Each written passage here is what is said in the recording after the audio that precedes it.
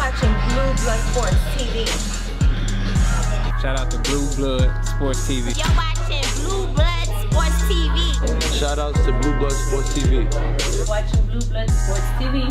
Hola, habla Cindy, está viendo Deportes TV. What's good, YouTube? It's your boy, Blue Blood Sports TV, back at y'all with another one. So, Eddie Hearn is in hot water with Tyrone Spong, as Tyrone Spong is, is saying and um, complaining, you know, and accusing Eddie Hearn or someone of rigging his VADA test. Uh, as his last test, he has passed. You know, um, he put he posted the the picture of his VADA test. You know, uh, saying that he passed the test he don't know what's happening. Uh, as he said from the beginning, he was clean. He stated that you know uh, something shady is going on. But if they um, remove this and allow me to come fight, I'll fly in and come fight tomorrow. I'll weigh in and come fight tomorrow. He said, and rec shop, you know, uh, they trying to keep me from Alexander Usyk because I was going to embarrass Alexander Usyk. He says, so they did everything in their power to keep me from him and uh, thus the reason why something shady happened and I failed my VADA test, uh, um, according to them.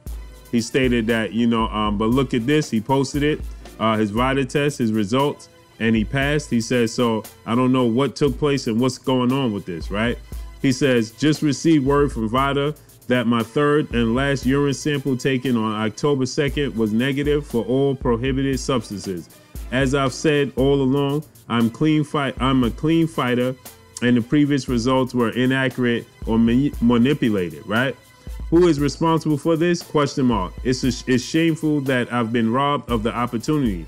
His team knew I was very big risk and could hurt him and needed a way out to avoid total embarrassment. I've been wrong and I'm pissed off. I'm willing to get on a plane tonight and step in the ring tomorrow night and F blank up right? Eddie Hearn responded. Uh, people are going, you know, um, absolute nuts in the comment section. Eddie Hearn is not hiding. He says uh, uh, Eddie Hearn had this to say.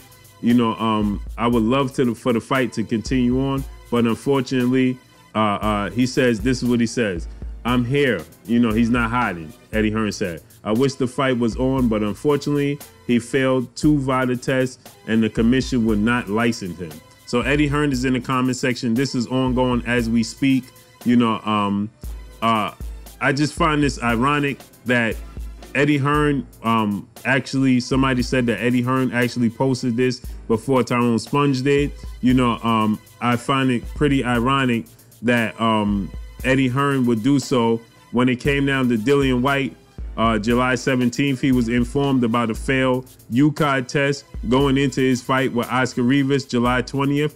And he wasn't um, eager to post that. He said it wasn't his obligation. It wasn't his duty. It was out of his hands to post that and inform Oscar Rivas and his team. Oscar Rivas and his team were not informed until uh, um, uh, days after the fight of the failed uh, UKAD test, right? And Eddie Hearn uh, said that it wasn't up to him to notify Oscar Rivas and his team. But when it comes to this situation with uh, um, Tony uh, uh, Tyrone Spong, uh, um, Eddie Hearn is all over it, and Eddie Hearn actually put out the information prior to um, Tyrone Spong putting out the information. So I find that quite ironic, and I find that quite, you know, shaky that Eddie Hearn would do so, you know, um, and not, you know, uh, uh, inform Oscar Rivas. You wasn't willing to inform Oscar Rivas, but when it comes to your fighter and the shoe is on the other foot, you know, Eddie Hearn wants his best, has his best interests at heart, right? So when it comes to Alexander Usyk, who's his fighter, you know, uh, he he wants to make sure that Alexander Usyk is protected, right? And for Tyrone Spong to come out and post this, you know, uh, it's pretty uh, serious and um, uh, it's hard to believe that this man would have failed um, previous tests and now, you know, is willing to show this uh, his third test. But when it comes to Dillian Whyte, we've been waiting for that B sample for quite some time and we've still yet to get it. And Tyrone Spong has got three tests already done and put out the information on his last test uh, to inform the world that he was clean all along.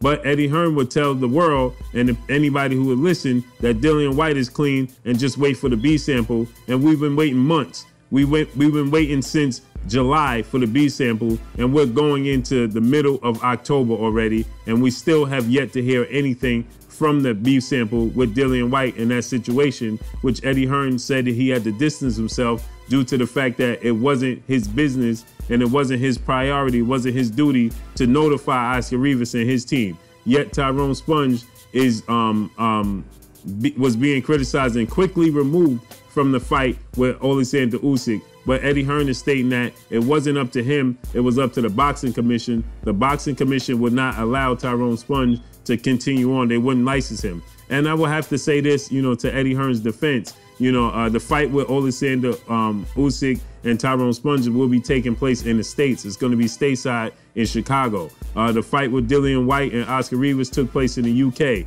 So I don't know what kind of strings could be pulled in that situation for that fight to continue on. But uh, it seems like VADA and um, they're going to be more um, uh, strict here in the States and prevent uh, Tyrone Spong you know, from uh, stepping through the ropes. But like Tyrone Spong is stating and clearing, trying to clear his name, you know, he passed his test. He said all along I was clean. And in this situation, I don't know what's taking place. You know, I don't know what's happening, but it seems like something um, fishy is going on behind the scenes. And I'm not liking it. And I'm totally pissed off. And they're robbing me out of my opportunity to shock the world.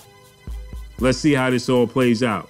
But that's all I got for y'all. Y'all already know what it is. It's your boy Blue, Blue Blood Sports TV. Hey, like, comment, and subscribe. If You haven't subscribed? Hit the subscribe button, hit the like button, hit the bell icon to get all the new notification. Follow me on Instagram at Blue Blood Sports TV, all one word. Y'all already know what it is. Shouts out to the entire LDBC. Shouts out to new media. Shouts out to Black Media Row. Make sure you like and share these videos. That's all I got for y'all. Peace. If you haven't purchased your focus ball, go purchase your focus ball at thefocusball.com. Perfect for hand-eye coordination, perfect for accuracy in combat sports. Use the promo code Blue Blood Sports TV and get 10% off.